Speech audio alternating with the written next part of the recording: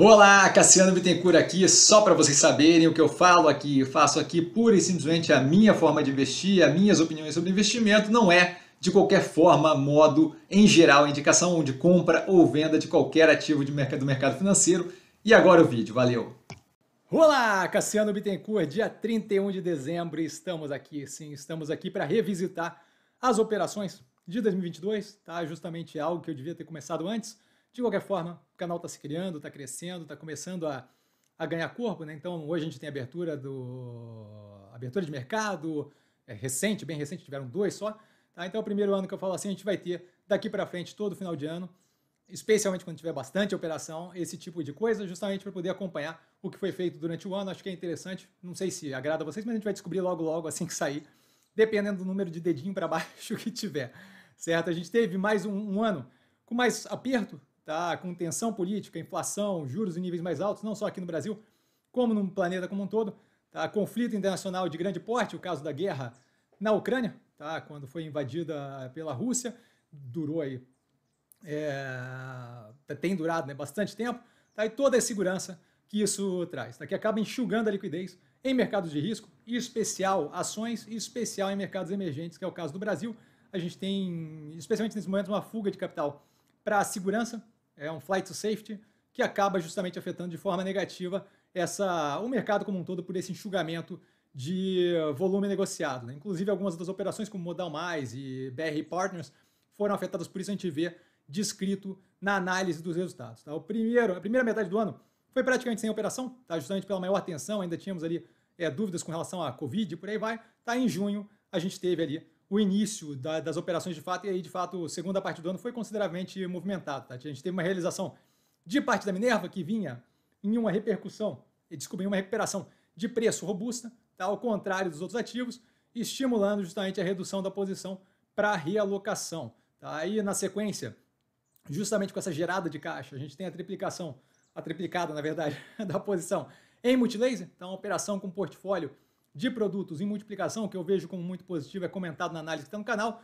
Também da Neogrid, tá? isso anteriormente a troca do CEO, que resultaria justamente no aumento do foco da operação em partes mais rentáveis e, por conseguinte, afetando ali negativamente a operação no curto prazo e eh, respingando no preço também. Tá? E a gente dobrou a posição em Ocean Pact em um momento de ainda fortes investimentos na operação, com bastante descrença do mercado, que ainda reside até hoje, com relação à operação que hoje está em dias em preços mais, mais interessantes ali tá? visando justamente aproveitar o momento para reequilibrar o portfólio um pouco em um movimento meio Robin Hood, né? tirando das ações com fortes ganhos tá? e compondo posições maiores em ativos descontados e com potencial, que viria justamente a incluir, inclusive, uma expansão ali no portfólio que a gente vai comentar daqui a pouco. Tá? Essa foi basicamente a temática do ano. Tá? E continuou acontecendo no mesmo mês, tá? com a triplicada de posição em Banco Pan, a posição do Banco Pan que entrou justamente após a conversão de Mosaico em Banco Pan, depois da compra por troca de ações da Mosaico pelo Banco Pan, não sei nem se alguém lembra aqui da Mosaico, mas as análises estão no canal, tá? Aumento ainda maior em cima de Ocean Pact, que continuava com uma derretida e não seria o último aumento do ano, tá aí um aumento da posição em via, com uma operação muito bem alinhada e os preços completamente descasados na, da realidade ainda hoje, vejo assim, tá? Operação muito positiva, isso tudo descrito na análise comentada em vários momentos da semana. Em julho a gente teve a primeira de várias adições do portfólio, como comentado, tá fazendo uso do Robinhood novamente, tá para levantar caixa, buscando justamente pulverizar ainda mais o capital, tá se expondo ali a setores diferentes que a gente não tinha e evitando concentração.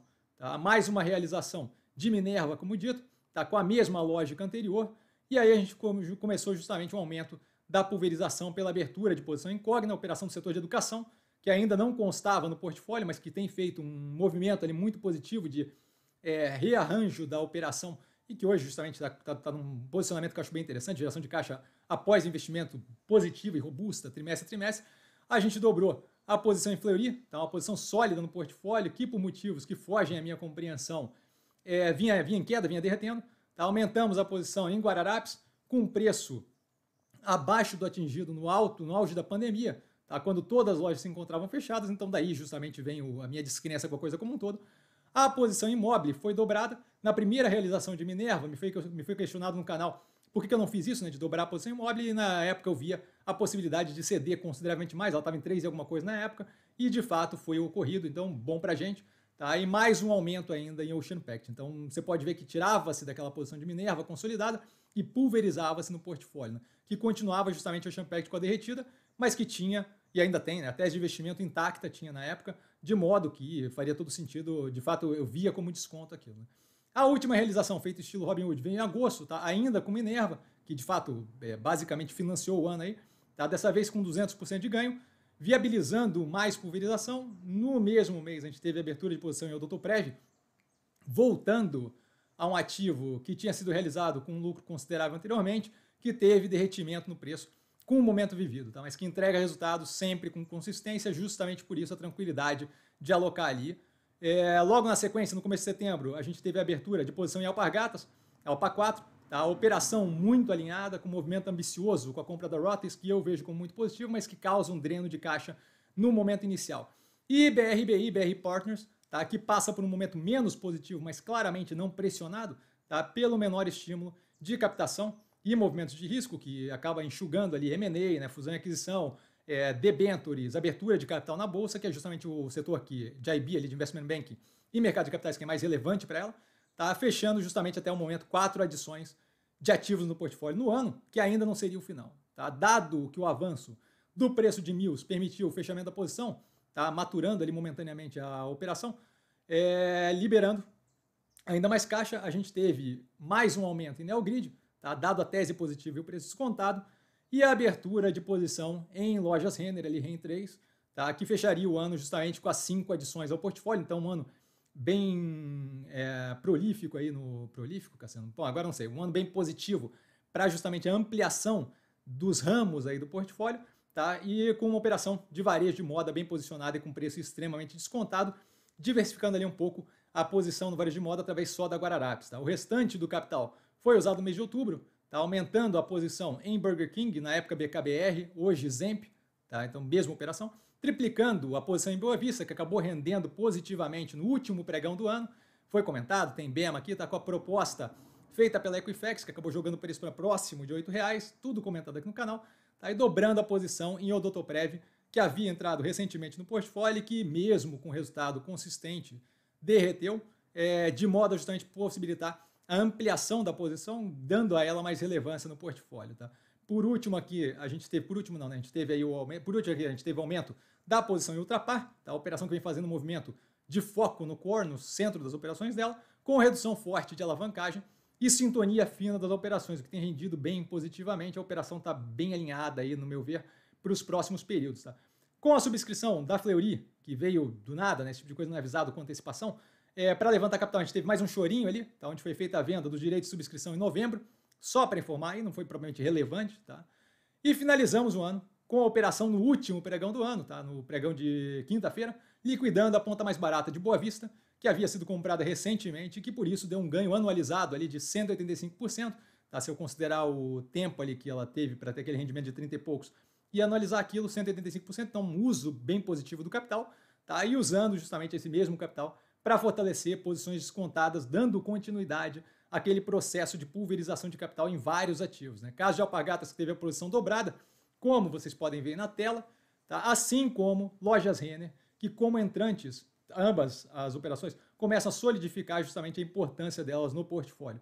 E um forte aumento em Modal Mais, com mais tranquilidade após a análise da XP, XPBR31, que está no canal, tá? dada a possibilidade de substituição de ações, não é para mim uma preocupação, dado que a operação da XP está bem alinhada também tá? e que vinha de uma derretida que já havia chamado a atenção, tinha inclusive sido comentado no primeiro abertura de mercados, que foi na quarta-feira, se não me engano. Tá? Então, bem positivo o andamento, a gente teve todo um movimento aí de realocação de capital. Né? Fechando assim um ano apertado, tá? com um mercado enxuto de liquidez, muitos acontecimentos afetando o risco percebido, e isso daí é bem relevante no curto prazo, né? a percepção que o mercado tem das coisas, não necessariamente o que aquilo ali vai afetar é, especificamente e efetivamente o, o, as operações, mas a percepção que o mercado tem faz preço no curtíssimo. Né? Mas ainda assim, um ano dinâmico o suficiente para uma realocação, tá? colocando parcela do portfólio com um direcionamento muito positivo quando eu penso médio e longo prazo e reduzindo o preço com aumento de posições em ativos que já estavam no portfólio, caso emblemático aí de Ocean Pact, que hoje em dia está com preço ali em 3,23, se não me engano, alguma coisa assim muito mais baixo do que a gente tinha anteriormente. Né? Fechando um feliz ano a todos, tá? Um feliz ano a todo mundo.